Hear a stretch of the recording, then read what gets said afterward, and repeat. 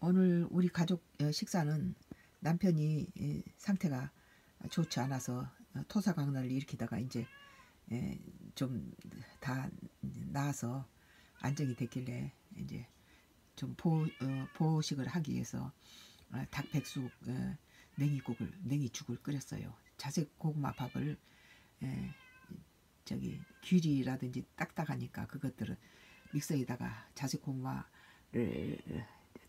믹서에다 갈아서 고구마 밥을 갈아가지고 찜, 찜 어, 어, 닭을 어, 한 마리 압력밥솥에 짜낸 것을 찢어서 냉이하고 같이 넣어서 네, 죽을 끓였어요.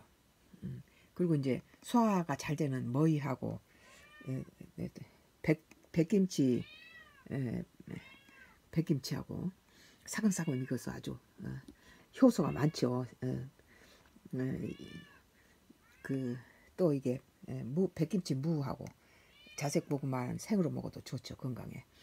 그래서 이제 에, 유산균이 많이 들어있는 어, 그 소화에 도움을 많이 주는 어, 백김치를 넣어서 식사를 오늘 식사를 에, 가족이 다 남편 건강에 맞춰서 온 가족이 다